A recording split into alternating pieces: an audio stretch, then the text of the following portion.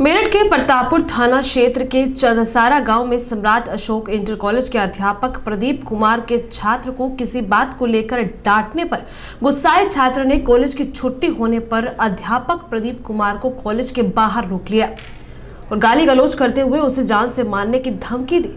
इस बात का जब विरोध अध्यापक ने किया तो अरशद ने अपने साथियों के साथ मिलकर अध्यापक प्रदीप पर तमंचे से फायर कर दिया। जिसमें अध्यापक के साथ वहाँ खड़े कई और अध्यापक बाल बाल बच गए। कॉलेज से बाहर निकलते छात्रों को देख आरोपी छात्र परिषद अपने साथियों के साथ वहाँ से फरार हो गया जिसके बाद प्रतापपुर थाने पहुँचे अध्यापकों ने आरोपी छात्र के खिलाफ तहरीर दी और मुकदमा दर्ज करने की मांग की। वही पुलिस मामले की जाँच में जुट गई है। जी आप किस विद्यालय में हैं? किस पद पर हैं? क्या घटना हुई है? मैं मेरा नाम राम प्रकाश है। मैं चंसारा इंटर कॉलेज का प्रधानाचार्य हूँ और कुछ अराजक तत्व आए और उन्होंने जो है कुछ अभद्रता की विद्यालय में और छात्रों के साथ कुछ अभद्रता करके और वो जो है बाहर निकल मारने की धमकी दे करके बाहर निकल गए और बाहर जो है फायरिंग कर दी। किस पर फायरिंग की है हम्म, ऐसे आकाशीय फायरिंग किस मतलब कौन थे वहाँ पर? वहाँ वहाँ दो चार किसान थे। स्कूल के बाहर। देवास ज़िले के टोंक खुर्द तहसील में ग्राम रिछड़िया के शासकीय प्राथमिक विद्यालय में नियमों की धज्जियाँ उड़ाई जा रही है। ग्रामीणों का कहना है कि दोनों शिक्षक समय पर स्कूल ही नहीं आते। पहुँचते हैं और समय से पहले दोपहर में ही छुट्टी करके घर वापस चले जाते हैं। ग्रामीणों का कहना है कि शिक्षकों के द्वारा छात्रों के साथ वही ग्रामीणों का कहना है कि इन शिक्षकों के द्वारा छात्रों के भविष्य के साथ खिलवाड़ किया जा रहा है। चार बजे चले जाते हैं आप शिक्षक ही ऐसे बता रहे हैं। जल्दी जाते कि नहीं हम ये मतलब अभी इनके मैडम डेली चार बजे निकल आते जा आप यहाँ से कितने बजे स्कूल बंद करके जाते आप नहीं यहाँ से स्कूल में ताला किस टाइम लगा? चार बजे बाद बंद करता हूँ पूछ लो आप किसी से पढ़िए तबीयत खराब तो मैं भी आज जा रहा क्या नाम है आपका? ठीक है जाइए आप। कहाँ से आते हैं? देवास से आते हैं सर ये मैडम ओके मैडम ओके। हम मीडिया से है वैसे। आ, मैं हिंदुस्तान न्यूज़ नेटवर्क। क्या नाम है आपका? राम प्रसाद पाटिल। अच्छा इसी विद्यालय से, से है आप? तो मैडम है। तो आप समय से पहले चले गए सर? तो सर तीन पचपन पे बंद कर दिया। अभी आपको वैसे आने की आवश्यकता नहीं थी लेकिन ये जानकारी कि आप ऐसा तो नहीं साढ़े तीन बजे स्कूल बंद नहीं, करके नहीं, चले जाते? ये सर तबीयत खराब इसलिए तो मैडम बोले मेरे को चलना है तो मैंने कि चलो आपकी वो बस आ जाएगी। प्रधान अध्यापक? मैं हूँ। भारत कहने को तो एक कृषि प्रधान देश है लेकिन अब इसकी नीतियों में किसान के हितों के प्रति लगातार नाराज़गी पूर्ण रवैया अपनाया जा रहा है। हमारे इस बात का सबूत उत्तर प्रदेश विद्युत निगम की नई नीति साफ़ बता रही है। जिसमें उन्होंने किसान के घर में दो भैंसों से ज़्यादा होने पर कमर्शियल मीटर लगाए जाने का आदेश जारी कर दिया है, जिसके बाद से ही किसानों में बेहद रोष है। किसानों का कहना है कि दो भैंसों से ज़्यादा ही वह अपने घर में रखते हैं, लेकिन सरकार का यह रवैया ठीक नहीं है। हमने जब इस बाबत यूपीसीएल के गाजियाबाद प्रमुख से बात की तो उन्होंने बताया कि यह कानून सिर्फ़ दूध बेचने वालों पर लागू होगा। लेकिन इसमें सबसे बड़ी बात यह है कि सरकार को कैसे पता चलेगा कि कौन दूध घर में इस्तेमाल कर रहा है और कौन बेच रहा है? कोई आदेश दिया गया है कि दो से ज़्यादा भैंसों का डेयरी संचालन जो होगा उसमें कॉमर्शियल एक्टिविटी मानी जाएगी? इसमें मैं आपको क्लैरिफाई करना चाहता हूँ कि कोई भी परिसर पर यदि आपका कोई कमर्शियल एक्टिविटी हो रही है तो उसको कमर्शियल कनेक्शन लेना चाहिए।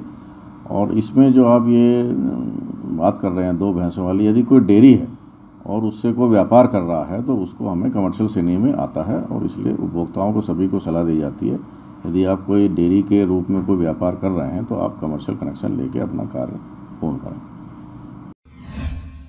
गाजियाबाद में लोनी पुलिस ने एक ऐसे गैंग का पर्दाफाश किया है, जो फर्जी दस्तावेजों के आधार पर गाड़ियाँ फाइनेंस कराता था और उन्हें बेच दिया करता था।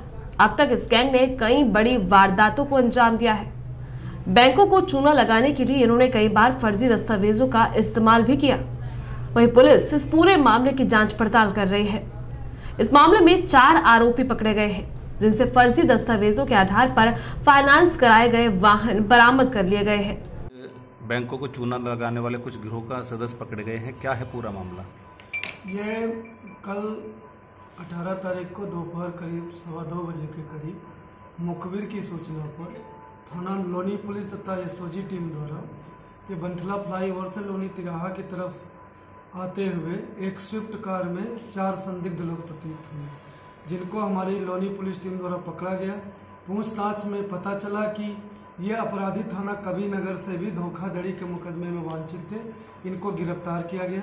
इनके कब्जे से फिर बाद में पूछताछ में वो स्विफ्ट कार तो बरामद हुई एक स्विफ्ट और बरामद हुई कार एक स्कूटी छह आधार कार्ड और पैन कार्ड इत्यादि डॉक्यूमेंट्स बरामद हुए।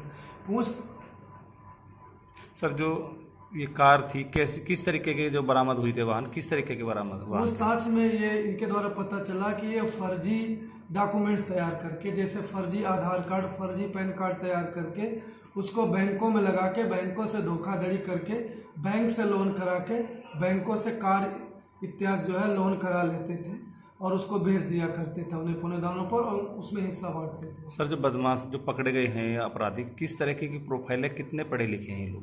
नहीं इसमें कुछ बदमाश अच्छा पढ़े लिखे हैं एमबीए किया हुआ है किसी ने बी फार्मा किया हुआ है तो ये पढ़े लिखे हैं इनकी शैक्षिक प्रोफ़ाइल है और इसमें जो मुख्य बदमाश है अजीत ये मिसलगढ़ी मसूरी का है मास्टर माइंड है अंकित है राजकुमार है और रजनीश पांडे है। सब तो रजनीश और अजीत पहले भी कई थानों से जेल जेल जा चुके हैं। रजनीश पांडे दो बार खोड़ा थाने से भी धोखाधड़ी चार सौ सड़सठ अड़सठ के मुकदमे में जेल जा चुका है। अजीत भी कविनगर थाने से धोखाधड़ी के मुकदमे में वंचित है। तो इनका आपराधिक प्रोफ़ाइल लंबा है। सर जो बरामद वाहन है ये बेच चुके थे या फिर बेचने की फिराक में थे? नहीं बरामद वाहन में कुछ तो बता रहे बेच दिए गए जिनको तस्दीक किया जा रहा है। भविष्य में और इसमें बरामदगी की जाएगी। बाकी हमारी पुलिस टीम ने दो दो स्विफ्ट कार, इनके पास से एक स्कूटी और आधार, पैन कार्ड इत्यादि डॉक्यूमेंट बरामद किए हैं और शेष आवश्यक कार्रवाई की गई